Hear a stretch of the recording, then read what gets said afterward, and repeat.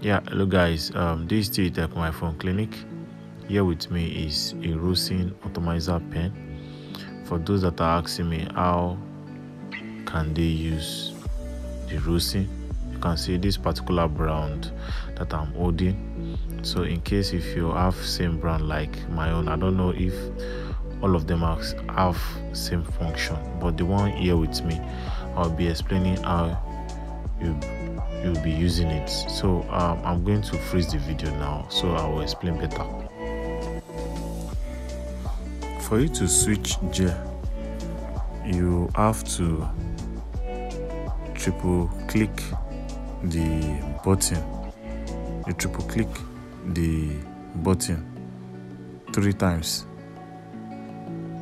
So once you triple click it's going to switch either to gear 1 or to gear 2 which is the blue. It's going to show you that it's, it's activated to blue. So you for you to change gear you have to wait for three seconds again for you to triple click again. So it will enter another gear then you wait for another three seconds you triple click again to enter another gear so the total J it has is just 3 J. I said the first J is um, green it uses 3.4 volts. The second gear is blue which uses 3.7 volts. Then the third gear is red which uses 4.0 volts. So i prefer um, 4.0 volts which is the red. That shows the freezing will be very very high.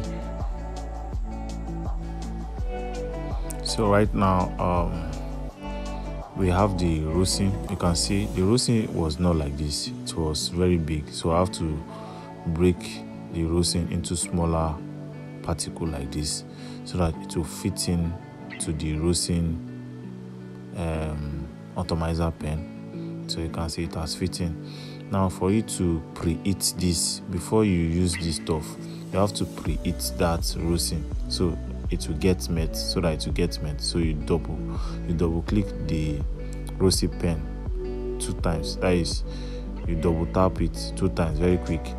So firstly it will show you the red color first. That that shows that is my j that's the j3 which i set it. So it will be changing color.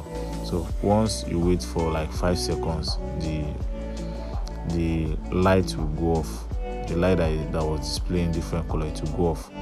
Now what you need to do you have to hold on what you have to do now you hold on to the key. You hold on to the button for 10 seconds or 8 seconds because you can't hold it for long. So you hold it down for 10 seconds. So once you hold it down for 10 seconds you see yeah you see how the atomizer pen is freezing the board. You see it now.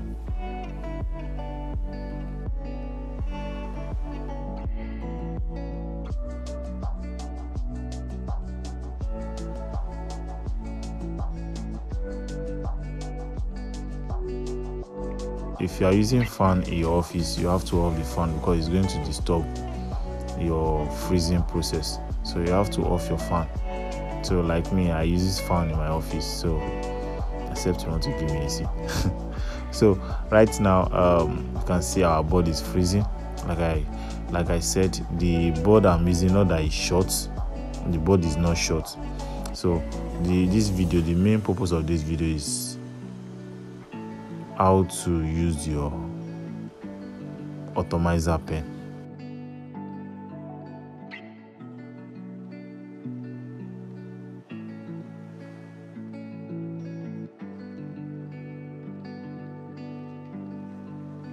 So the fan is really disturbing.